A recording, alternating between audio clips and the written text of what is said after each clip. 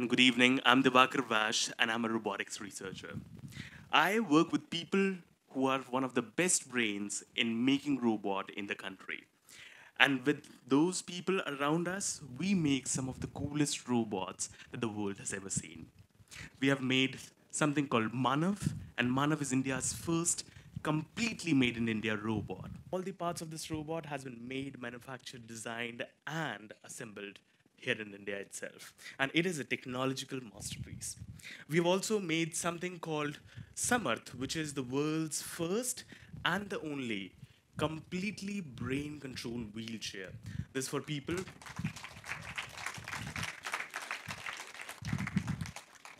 This is made for people who have full body paralysis, people who can see every single thing, who can understand every single thing, but are not able to do anything and they're completely bedbound. They can't even talk to you.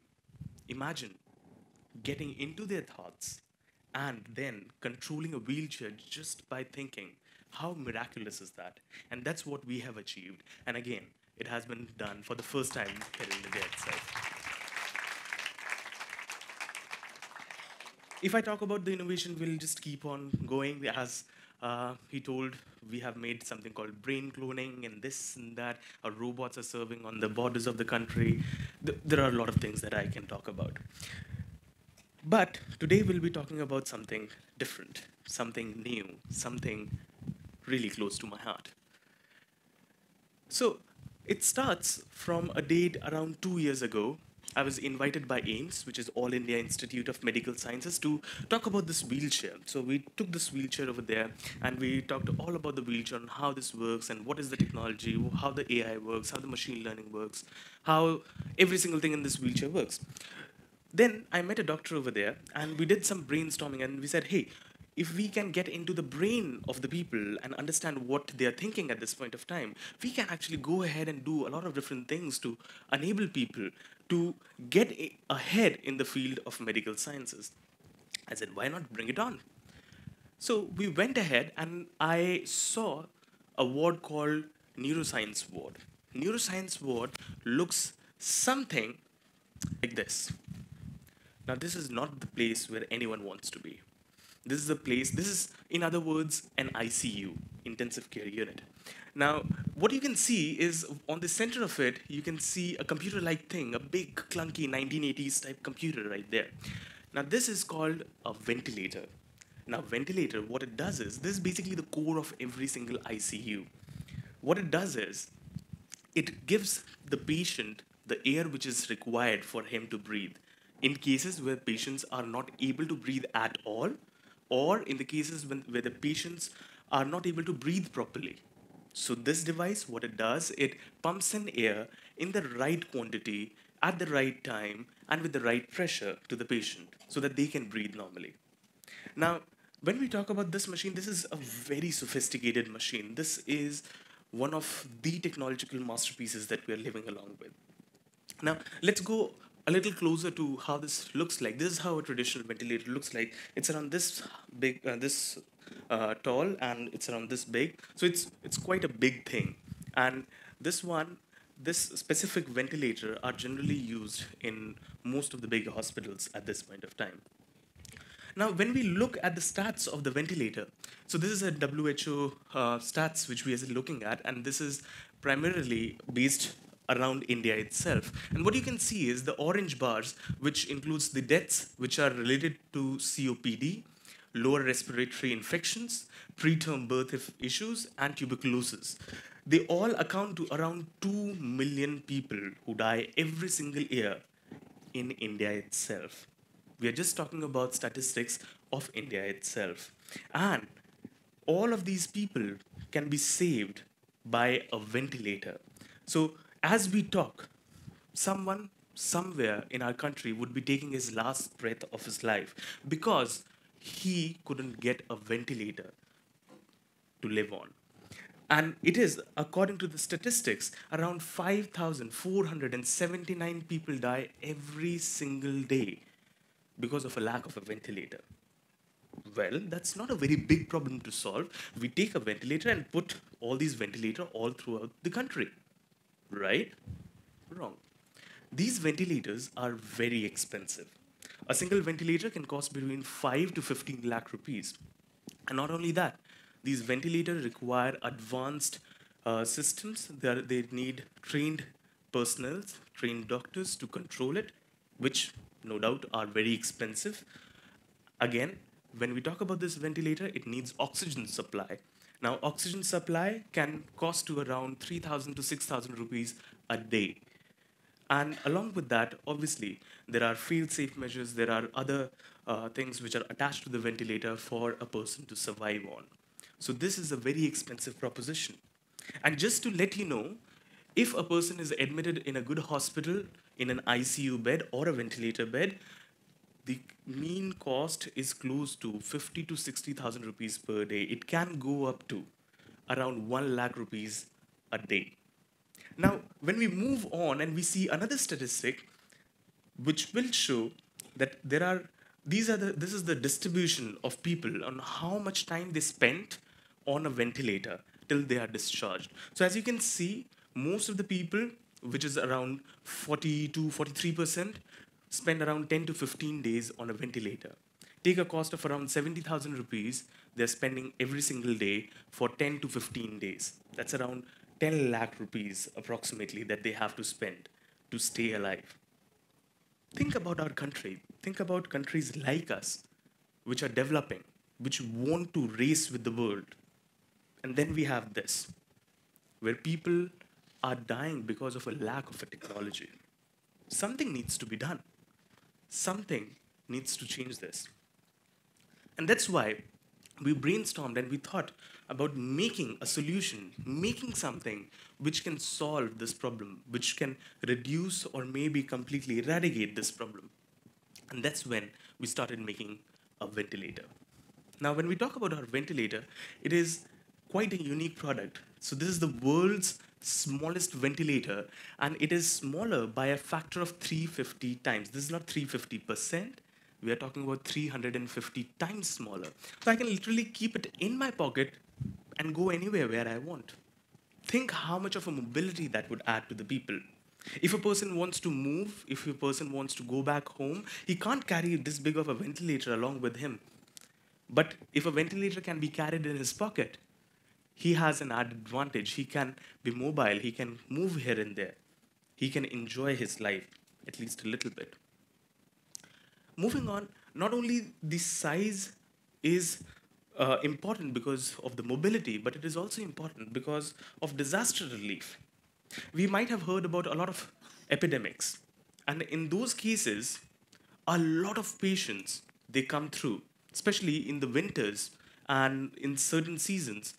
Uh, there are uh, there is a huge rise in the number of cases of respiratory diseases and when it happens, none of the hospitals are prepared to take on that many patients at that point of time. If you have a very small ventilator that you can stack up, maybe in a room or maybe in a big carton, and disperse it whenever or wherever you want, that can help a lot of things. Not only this, but if in a case where epidemic is somewhere away from the resource rich area, like for example, the metro cities. For example, if we talk about areas which are remote, which are not very well connected, you can ship these ventilators very easily as compared to the conventional ventilator. So size plays a very important factor when it comes to a ventilator. Then we move on, it's the world's smartest ventilator, trust me. When we started making this ventilator, we made sure that every single part of this ventilator is super easy to use and does not require any kind of training whatsoever. Because we are already working on artificial intelligence and machine learning, we put that technology out from our robots and into this ventilator. And what it enabled us was that you do not need a doctor or any medical expert to control a ventilator like this. As you can see from the covering of this ventilator, there are no buttons, there are no switches. there is nothing to control in this ventilator. You put it onto the patient, it analyzes, it understands how the patient is breathing, how he needs the oxygen, it understands the user pattern, and based on that, controls itself automatically. So you don't need to ha ever have to control it in your life. And if at any point of time, in certain cases, even if you have to control it in some very difficult circumstances, then also it's super duper easy because it can be controlled by a mobile application. So this is the kind of mobile application which we are talking about. And it is Bluetooth enabled. So all you need is an Android mobile phone. You open up the app, connect it to the ventilator, and control every single functionality of the ventilator just by your Android mobile phone. Because it is connected to your mobile phone, we have an added advantage. If at any point of time a patient is behaving in a way in which it, he shouldn't be, then automatically an alert is sent to the nears and dears that there is something which is going wrong and you must attend the patient nearby. That is a completely new feature that is not there in any of the ventilators. Not only this, this ventilator at any point of time, if you're not able to control this ventilator, if there's any problem in the ventilator, what would you do? Because it is a question of your life, of the patient's life. What should he or she do? And what if they're again in an area which is not so resource, uh, resource rich? In that case, you can simply call our institute or our office and we can take over the control of your ventilator, whether you are in any part of the world, and we can understand, get the data, and control it remotely for you.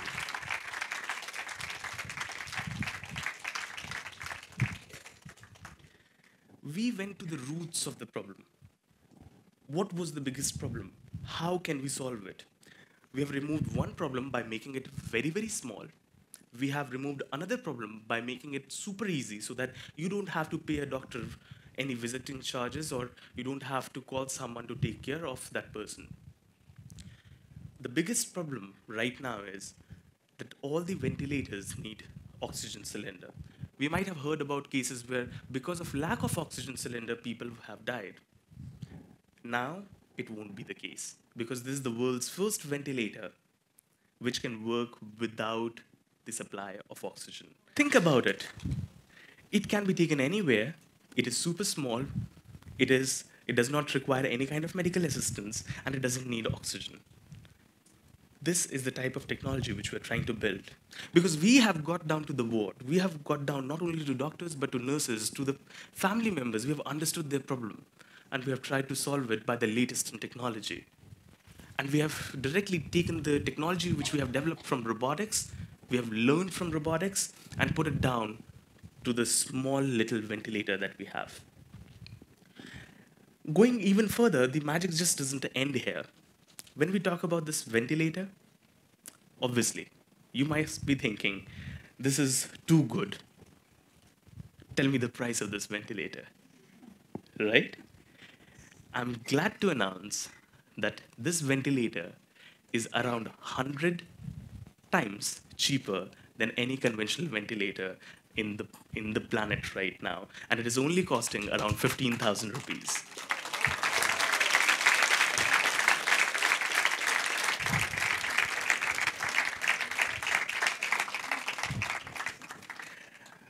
There was a person who met me a few days back, actually a month or so back. And he said, You know, Mr. Diwakar, you're not a good businessman. I said, So be it but why are you saying that sir sir पाँच लाख का ventilator मिलता है ventilator cost five lakh rupees at the minimum even if you sell this ventilator for 50,000 rupees, maybe 30,000 rupees, people will buy it. I said, yes, certainly they will. They, why don't you sell it for that much? I said, listen, till the time we are talking right now, there would be a person who would be dying because of a lack of a ventilator. What we want to achieve is to give life to people who earlier would not have got access to this kind of ventilator. We want to take the technology. Making technology is not a big thing. We do it every single day. In the research lab, there are so many technologies that are being invented. But what matters is what gets down to the people. And that's what we are going to do. And that's what we are doing. We are taking robotics, we are taking technologies, and we are making them in such a manner that everyone can take a taste of it, everyone can utilize it, and everyone can be benefited by it. And that's what we are trying to do with our ventilator. And with this ventilator, with this ventilator, we are just not looking at India. As we always say, we are making technologies here in India with love for the world.